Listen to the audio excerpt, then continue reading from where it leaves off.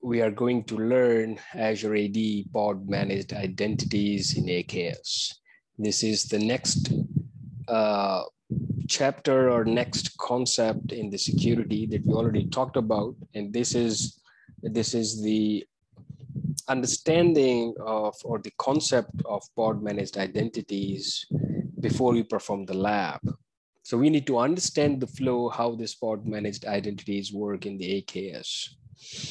So we have covered managed identities many times, and I hope you guys are aware of managed identities. And uh, here we are going to enable managed, managed identities on pod. Now, first we need to understand how this will work because pod is running on a virtual machine, right? And if we enable the managed identity on a virtual machine, then what it mean? Like all the pods running on that VM would have the access to the relevant resources. Because pod is not a Azure resource, it is a Kubernetes resource. Azure resource is what? It's a virtual machine. And if we enable the managed identities on the virtual machine, for example, an application is running on a virtual machine, right? Let's let, let me take you through this diagram that I created just to understand. Let's suppose this is our virtual machine and uh, we have managed identity enable on this virtual machine where the application is running. And let's suppose this application needs to access the key vault. Now key vault will, will ask for, you know, either token or mm-hmm. if you are accessing by yourself, whether you have the permission or not, the authentication, right?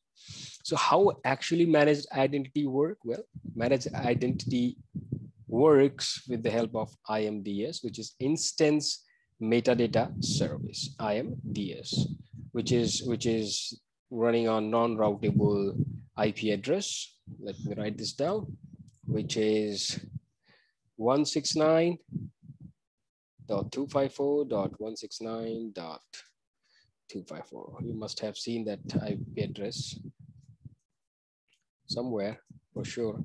So this is the IP address of instance metadata service.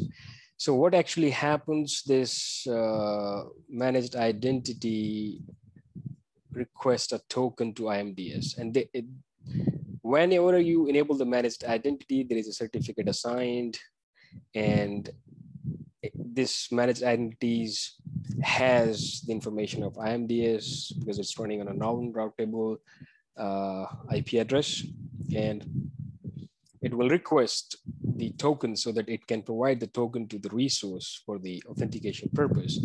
Now IMDS will take this, this certificate, which is assigned to this managed identity and show it to Azure AD. And in return, it will get a token. It will forward this token to this uh, virtual machine or the managed identity. And this application will utilize this token to access a resource. It's a simple flow, right? Let me write this down here just to re token request, okay?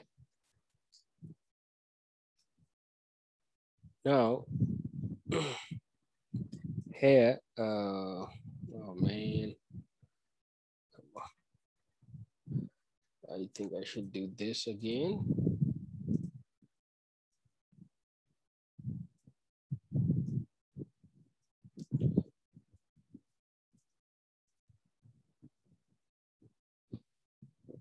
Oh, okay. Now here, authentication is happening for a token purpose through the help of CERT that managed identity has.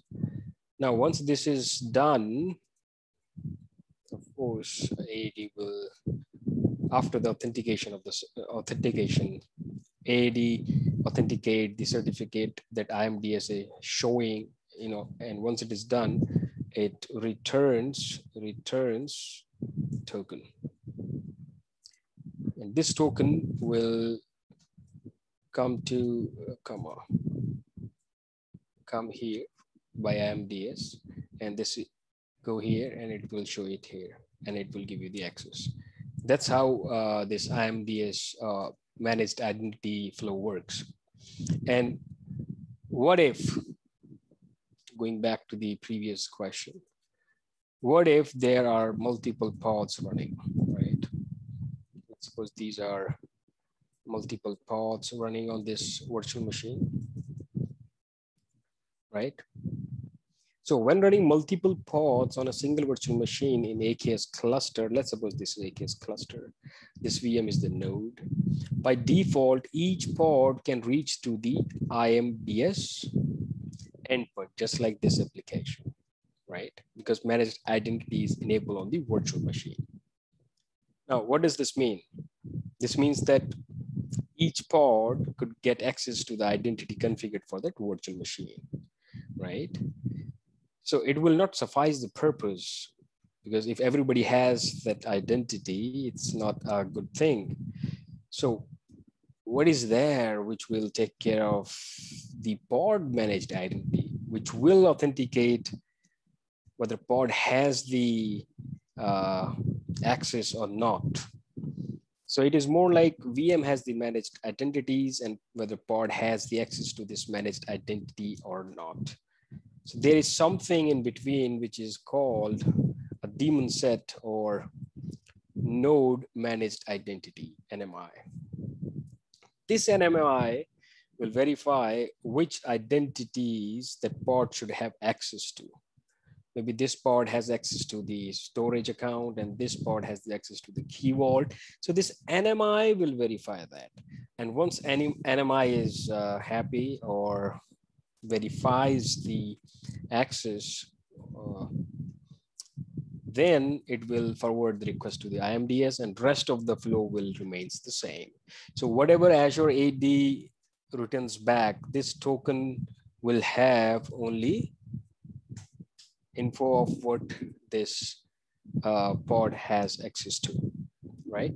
So that's how the managed pod identities work. And this is a wonderful feature. And uh, right now it's in preview, it's not uh, GA, but Microsoft is working very hard because this is uh, a revolution in the security of AKS. Nobody, no, no other Kubernetes has this feature. So this will, this will be uh, a wonderful when this feature will become GA. This way you can control which pods on your cluster have access to uh, certain identities, right? And the benefit of using Azure AD pod managed identities as an AKS add-on is that functionality is supported by Microsoft and the software will be updated automatically as a part of regular cluster operations. So uh, this is the concept that we need to understand first. And in the next video, we'll go through the lab for the pod managed identities. We'll try to uh, of course, there is a basic basic setup involved in the lab, and you know the same cluster that I'll be working on on the lab. Apart from cluster, will of course we need to enable the managed identities on the cluster, and then we'll try to access uh, some Azure resource which which supports managed identities through the pod. Let's suppose it's a blob. Let's see next video. Thank you for watching. Bye-bye. Take care.